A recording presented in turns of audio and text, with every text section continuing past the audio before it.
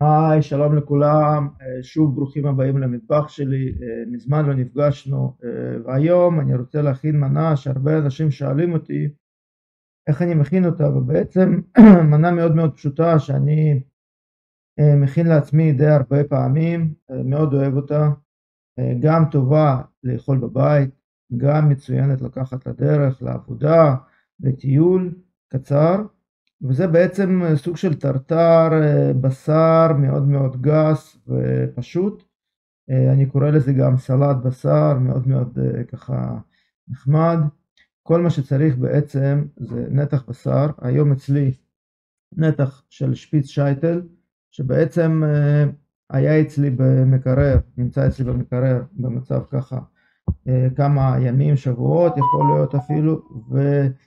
ופשוט אני חותך ממנו ואוכל ממנו מה שאני רוצה, אני יכול לחתוך סטייק ולהכין סטייק, אני יכול להכין את הטרטר הזה, אני יכול לעשות מה שאני רוצה מהבשר הזה, מאוד מאוד נוח. הטיבול של הסלט הזה הוא מאוד מאוד פשוט, זה יכול להיות חומץ, חומץ תפוחים אורגני, או אני משתמש לאחרונה הרבה בחומץ שום מלטרון, ממנזר לטרון, אני מאוד מאוד אוהב אותו, הטעם מאוד מאוד טוב, אבל זה יכול להיות חומץ תפוחים אורגני בלי שום בעיה. מלח,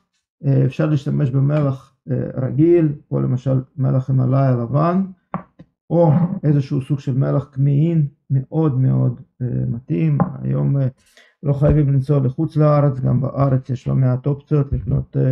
מלח כמהין מצוין, גם תוצרת מקומית. ושמן זית לטיבול, שוב ממש מעט, אפשר להשתמש בכל שמן זית, פה במקרה הזה קצת שמן זית עם לימון, אבל כל שמן זית יכול לעבוד, חשוב מאיכות טובה. זהו, כל מה שבעצם עושים עכשיו, מה שאני צריך לעשות זה לפרוס את הבשר שלי לחתיכות מספיק קטנות שיהיה נוח לאכול, לטבל ופשוט ליהנות מהאוכל. מה שאני עושה, אני פורס את זה לסוג של סלייסים כאלה, בשר שלי, מה שאני באפס מעלות, הוא טיפ טיפה קפוא, אבל זה ממש לא משנה, כן, לוקח,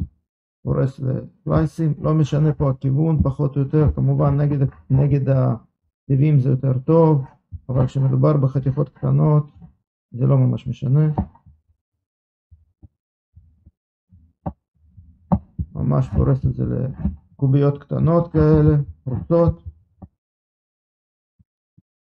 ככל שקטנות יותר ככה,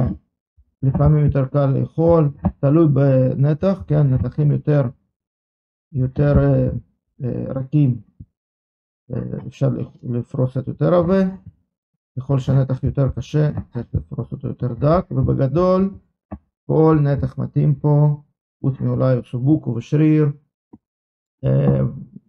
המסד החלק המשויש, החלק הקרוב לעצם, יעבוד פה מצוין, לא לפחד, אין נתח שהוא מתאים יותר או נתח פחות מתאים לטרטר, כל זה קצת עבודת שיניים בסכין. אז אני שם את זה בקערה, הכנתי ככה חתיכה קטנה, בגדול אני די הולך לאכול את הכל עכשיו, אבל בגדול מה שאני עושה עכשיו מפזר מלח בנדיבות, לא מפחד, מלוח טוב, שם טיפה חומץ, ממש לפי עין, זה צריך טיפה לכסות את הבשר, לא ממש להרוג את הבשר בחומץ, וממש נגיעה של שמן זית, נגיעה קטנה, רק בשביל הטעם. מערבב את הכל, אפשר להשתמש ביד, אפשר להשתמש בכף, מה שנוח. אני מכין לעצמי, זה לא משנה, אפשר עם כפפות, בלי כפפות, מה שכל אחד מרגיש ואוהב לעשות.